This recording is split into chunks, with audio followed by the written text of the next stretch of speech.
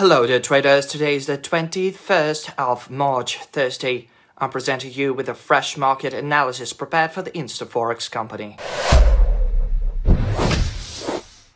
Yesterday, the Federal Reserve disclosed its key interest rate decision.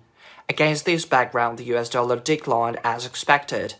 Some of our trading strategies were implemented. Meanwhile, the Australian dollar started gaining in value some analysts believe this will be a long-lasting trend.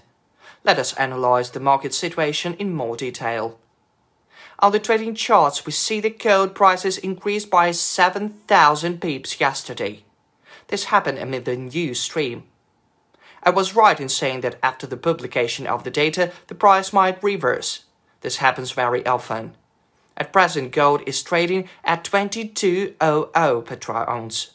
The price is likely to go on rising, however the asset may slide to the area near 2150, which has not been working out yet. This is not very good for buyers. Although most analysts foresee a jump to 3000 USD or even higher, traders should be cautious as they may face considerable risks. The euro dollar pair also gained in value. On the trading chart, you can see swing points, which allow traders to earn money today. There's also a swing low. If the price drops to this level, traders may go long, expecting a jump.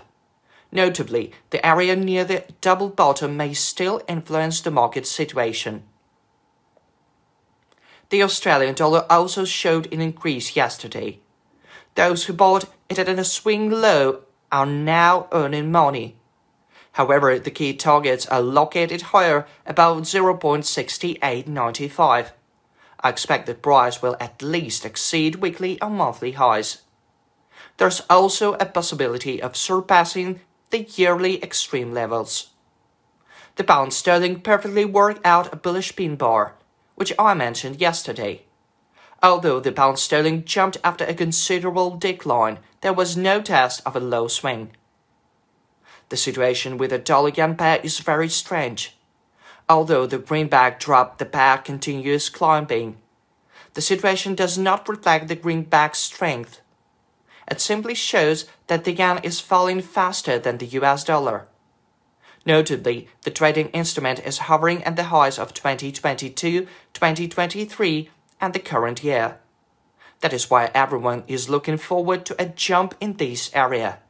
The regulator's actions may allow sellers to make a profit silver continues rising. The main target is still seen at 30 USD. For now, I'm going to stop there. Stay tuned for our next video review.